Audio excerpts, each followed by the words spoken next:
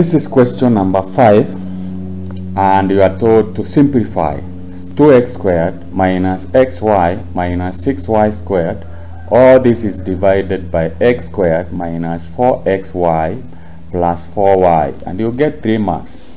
To be able to solve this question we have two unknowns or variables x and y so you have to treat one of them as a constant. In the numerator we will treat y as a constant. So we say you multiply you multiply 2 multiply by 6y squared. That is a minus 6y squared. And this will give you minus 12y squared so you need to get two numbers such that when you add them a plus b because we have said y is a we consider y as a constant should be equals to minus y.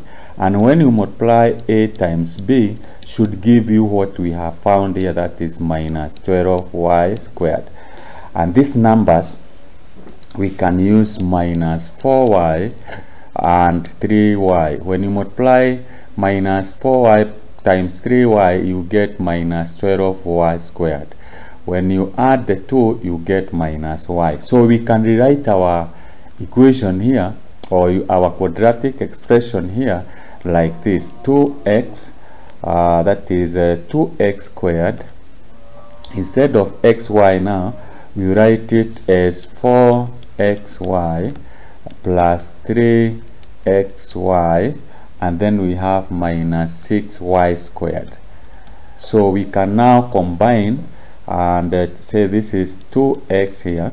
And then we'll be left with x uh, minus this will be 2y here we can factor out positive 3y and we will be left with uh, that is x minus 2y which we can now factor out and say this is x minus 2y and we have uh, now we have 2x uh, 2x plus 3y so that is the first one.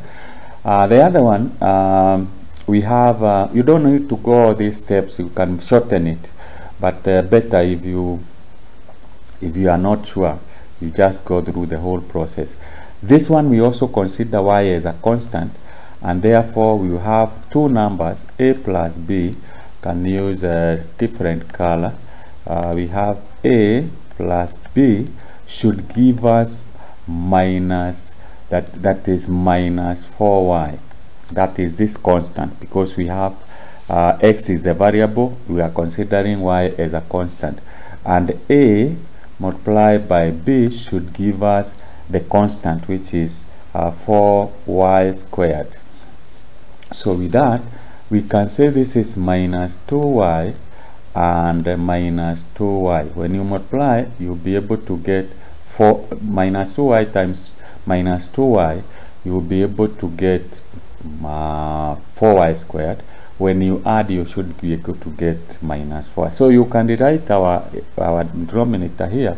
You write it x squared minus 2xy uh, minus 2xy plus 4y squared. So here we can now factor and say this is uh, our x. We factor out x. We will be left with x minus 2y and here we can factor uh, we have uh, we factor out minus 2y we will be left with uh, x minus 2y so that when you multiply negative and negative you get positive. So you have now x minus 2y and we have uh, x minus 2y so we can now divide. Come here and uh, divide. Uh, we divide.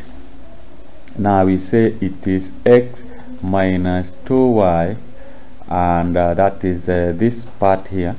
And we have 2x plus 3 and we divide by x minus 2y and uh, we have x minus 2y so with that we can now simplify and divide that by that and uh, what will be left with here is uh, 2x plus 3 divided by x minus 2y so that is how you work out that.